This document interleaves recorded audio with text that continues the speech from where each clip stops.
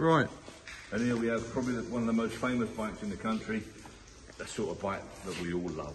And I particularly love A10s because my age group, being a little bit laid back and lazy when it comes to changing gear and revving and driving about and all the rest of it, go around the corner in third in one of these, almost pull a caravan.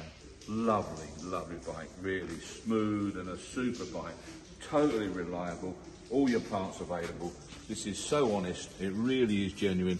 By the look of that front tyre, it's had a chair on it, look.